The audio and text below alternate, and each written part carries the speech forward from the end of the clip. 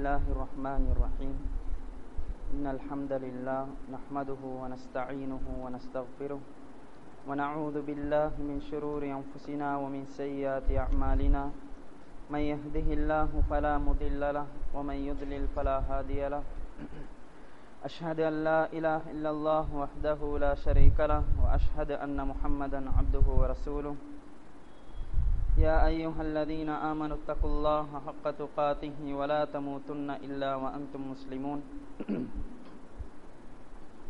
يا أيها الناس اتقوا ربكم الذي خلقكم من نفس واحدة وخلق منها زوجها وبث منهما رجالا كثيرا ونساء. واتقوا الله الذي تساءلون به والأرحام إن الله كان عليكم رقيبا. يا أيها الذين آمنوا اتقوا الله وقولوا قولا سديدا يصلح لكم أعمالكم ويغفر لكم ذنوبكم ومن يطع الله ورسوله فقد فاز فوزا عظيما أما بعد فإن أصدق الحديث كتاب الله وخير الهدي هدي محمد صلى الله عليه وسلم وشر الأمور محدثاتها وكل محدثة بدعة وكل بدعة ضلالة وكل ضلالة في النار அன்புக்குரிய சகோதரர்களே மாணவர்களே திக்ருகளின் சிறப்புகள் என்ற தொடர் வகுப்பிலே நேற்றைய பாடத்தில் ரதீத்து பில்லாஹி ரப்பன் வபில் இஸ்லாமி தீனன் வபி முஹம்மதின் ரசூலன் என்ற விக்ருடைய சிறப்பை பற்றி நாங்கள் பார்த்தோம்.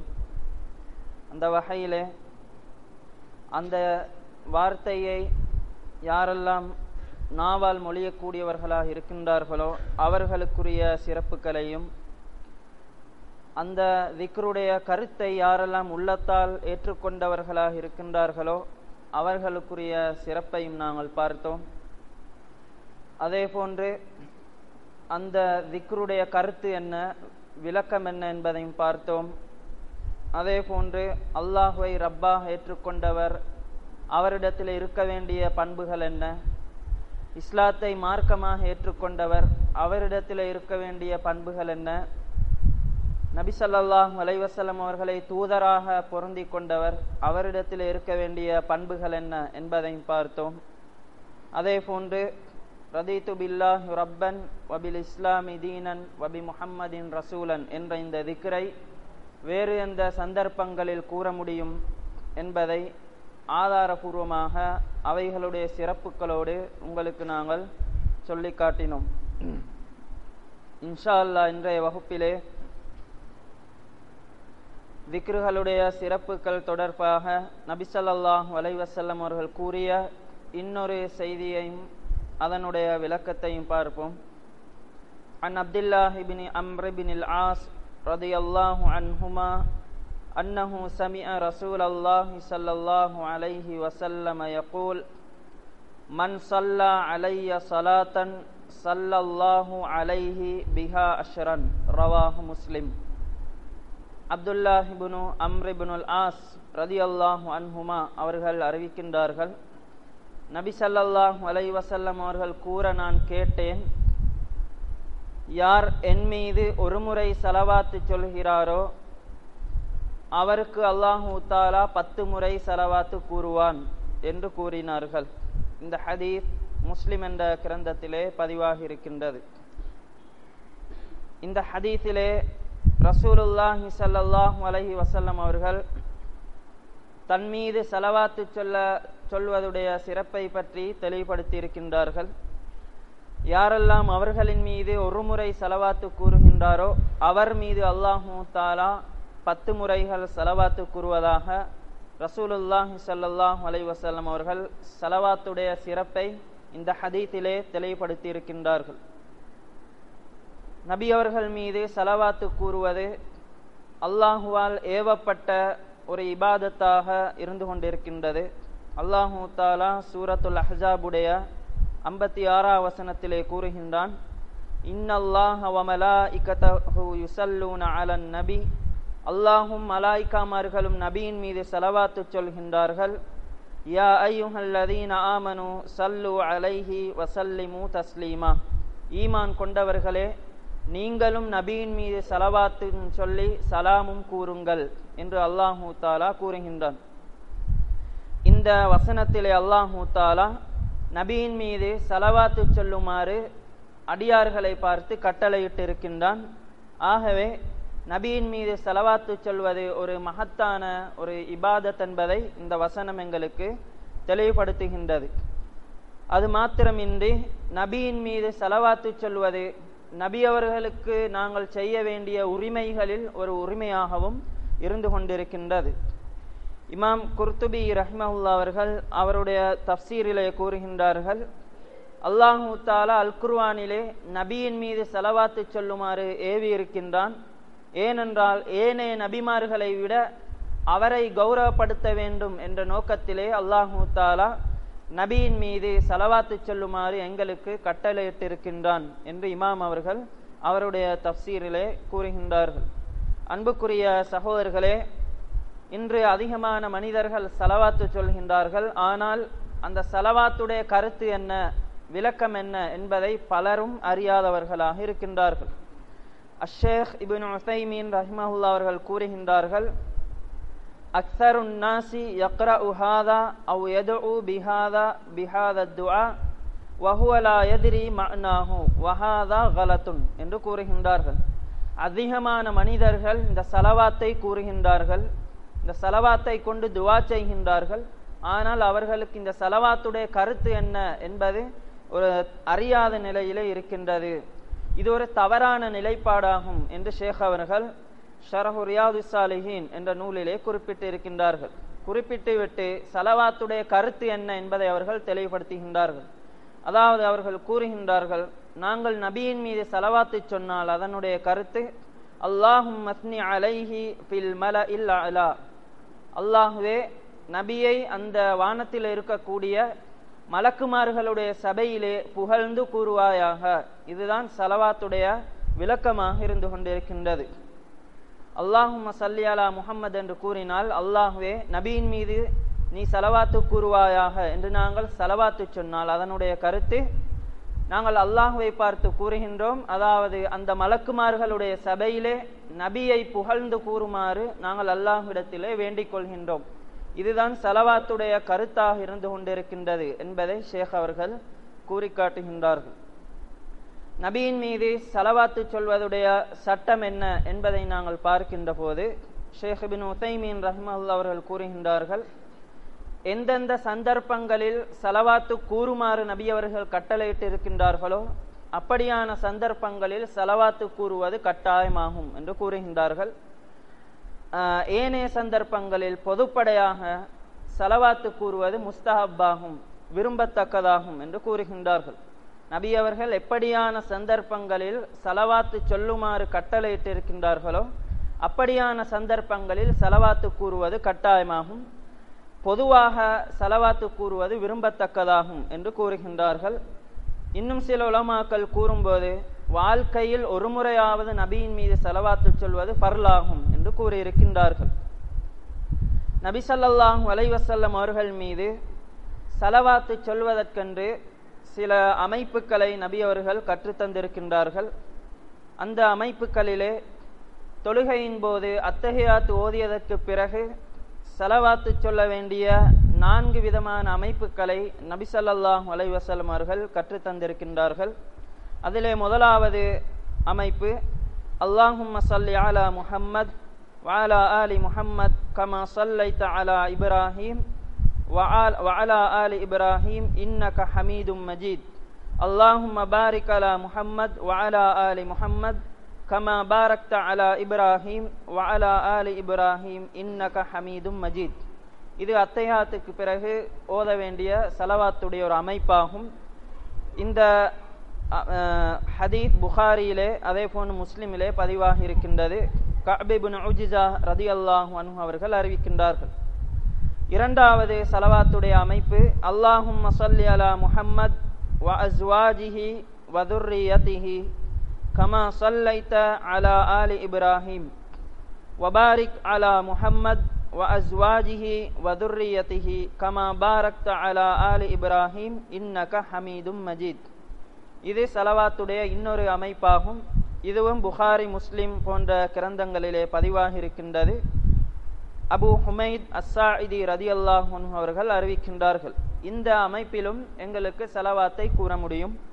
மூன்றாவது அமைப்பு அல்லாஹும் صل அலா முஹம்மத் عبدك ورسولك ரசூலிக கமா على அலா وبارك على அலா முஹம்மத் வ محمد ஆலி முஹம்மத் கமா பாரக்த அலா இப்ராஹிம் வ ஆலி என்ற மூன்றாவது சலவாத்துடைய அமைப்பாகும்.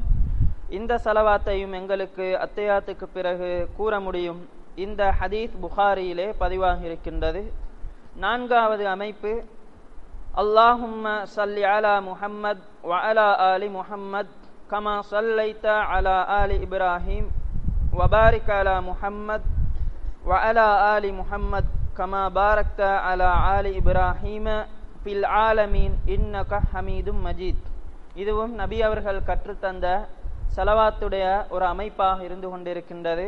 முஸ்லிம் என்ற கிரந்தத்திலே இந்த அமைப்பு பதிவாக இருக்கின்றது இவ்வாறு அத்தையாத்துக்கு பிறகு இந்த நான்கு அமைப்புகளில் ஏதாவது ஒன்றை கொண்டு செலவாத்து சொல்ல முடியும் என்பதை நாங்கள் இந்த ஹதீஸ்களிலே பார்க்கலாம். தொழுகை அல்லாத ஏனைய சந்தர்ப்பங்களில் செலவாத்து கூறுவதாக இருந்தால் இமாம் இபுன் ஹஜர் ரஹிமஹுல்லா அவர்கள் ஃபத்துஹுல் பாரி என்ற நூலிலே கூறுகின்றார்கள் அலா அன்ன வகதின் على أن جماهير العلماء يرون أن أي لفظ أدى المراد بالصلاة عليه أجزاء என்று கூறுகின்றார்கள் அதாவது அதிகமான உலமாக்கள் கூறுகின்றார்கள் நபி அவர்கள் மீது செலவாத்தை எத்தி வைக்கக்கூடிய எந்த ஒரு வார்த்தையை கொண்டு நாங்கள் செலவாத்து சொன்னாலும் அது செல்லுபடியாகும் நபி அவர்கள் மீது செலவாத்தை எத்தி வைக்கக்கூடிய எந்த ஒரு வார்த்தையை கொண்டும் நாங்கள் செலவாத்து சொன்னால் அந்த செலவாத்து செல்லுபடியாகும் என்று கூறுகின்றார்கள். அம்மா தாஹில் அஸ்ஸலா பயம்பகில் அல் இஃப்திசாரு அலல் மசூரில் வாரித். ஆனால் தொழுகையிலே செலவாத்து கூறுவதாக இருந்தால் நான் மேற்கூறப்பட்ட அந்த அமைப்புகளிலே செலவாத்து சொல்வதுதான் பொருத்தமானதாகும் என்று இமாம் இபுனு ஹஜர் ரஹ்மஹுல்லா அவர்கள் ஃபத்துஹுல் பாரி என்ற நூலிலே குறிப்பிட்டிருக்கின்றார்கள். அந்த வகையிலே தொழுகையிலே செலவாத்து கூறுவதாக இருந்தால் நபியவர்கள் கற்றுத்தந்த அமைப்பிலே நாங்கள் கூற வேண்டும். ஏனைய சந்தர்ப்பங்களில் செலவாத்து கூறுவதாக இருந்தால் அதாவது செலவாத்துடைய கருத்தை உள்ளடக்கி இருக்கக்கூடிய சலா செலவாத்தை நபியவர்கள் மீது எத்தி வைக்கக்கூடிய எந்த ஒரு வார்த்தையையும் பயன்படுத்தி எங்களுக்கு செலவாத்து சொல்ல முடியும் என்பதை இமாம் அவர்கள் ஃபத்துஹுல் பாரி என்ற நூலிலே தெளிவுபடுத்தி இருக்கின்றார்கள். அடுத்ததாக நபியவர்கள் மீது செலவாத்து சொல்வதால் ஏற்படக்கூடிய நன்மைகள் என்ன சிறப்புகள் என்ன என்பதற்றை பார்ப்போம். அந்த வகையிலே ஏற்கனவே நாங்கள் பார்த்த ஹதீஸ் தான் அப்துல்லாஹிபின் அம்ரிபின் ஆஸ் ரதி அல்லாஹ் அன்ஹும் அவர்கள் அறிவிக்கக்கூடிய செய்தி. நபிசல்லாஹ் அலை வசல்லம் அவர்கள் கூறுகின்றார்கள் மன் சல்லா அலைய சலாத்தன் சல்லல்லாஹு அலைஹி பிஹா அஷ்ரன். யார் என் மீது ஒருமுறை செலவாத்து கூறுகிறாரோ அவர் மீது அல்லாஹூ தாலா பத்து முறை செலவாத்து கூறுவான் என்று கூறுகின்றார்கள். இந்த ஹதீஸ் முஸ்லிமிலே பதிவாக இருக்கின்றது. ஷேஹபின் பின் உசைமீன் ரஹ்மஹுல்லா அவர்கள் கூறுகின்றார்கள் நாங்கள் அல்லாஹும் சல்லி அலா முஹம்மத் சல்லல்லாஹு அலைக்க என்று நபியின் மீது பத்து முறை செலவாத்து கூறினால் அல்லாஹூ தாலா அந்த மலக்குமார்களுடைய சபையிலே பத்து முறை எங்களை புகழ்ந்து கூறுவான் என்று இந்த ஹதீஸுக்கு விளக்கம் சொல்வதை நாங்கள் பார்க்கலாம். ஏனென்றால் அல்லாஹூ தாலா அடியார்கள் மீ செலவாத்து கூறுவதென்றால் அதனுடைய விளக்கம் அல்லாஹ் எங்களை மலக்குமார்களிடம் புகழ்ந்து கூறுவான்.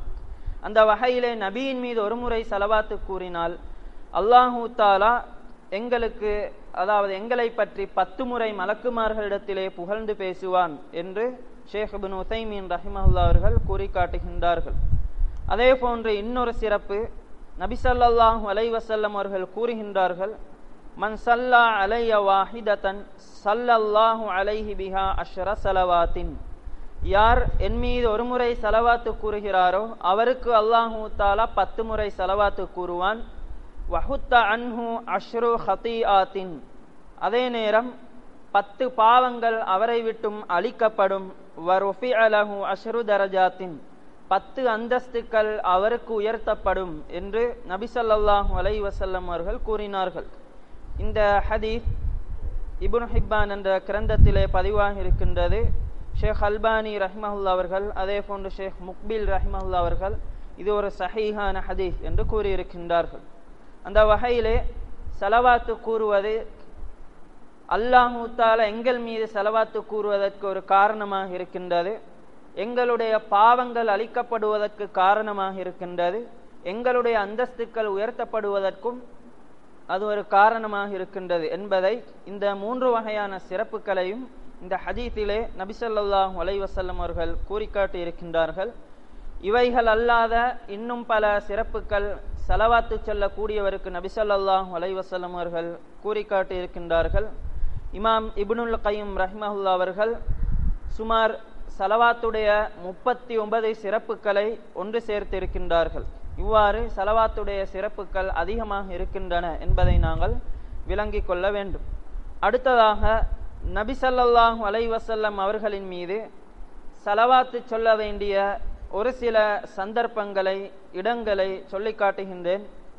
அந்த வகையிலே ஒரு சில சந்தர்ப்பங்களிலே நபிசல்லாஹு அலைவசல்லம் அவர்கள் செலவாத்து சொல்லுமாறு எங்களுக்கு வழிகாட்டி இருக்கின்றார்கள். அப்படியான சந்தர்ப்பங்களிலே முதலாவது சந்தர்ப்பம்தான் ஏற்கனவே உங்களுக்கு கூறி காட் காட்டப்பட்டது போன்று தொழுகையிலே அத்தகையாத்து ஓதியதற்கு பிறகு செலவாத்து சொல்லுமாறு நபிசல்லாஹ் வலைவசலம் அவர்கள் வழிகாட்டி இருக்கின்றார்கள் இந்த செலவாத்தை எப்படியெல்லாம் சொல்ல முடியும் என்பதை நாங்கள் மேற்கூறப்பட்ட அந்த ஹதீஸ்களிலே பார்த்தோம்.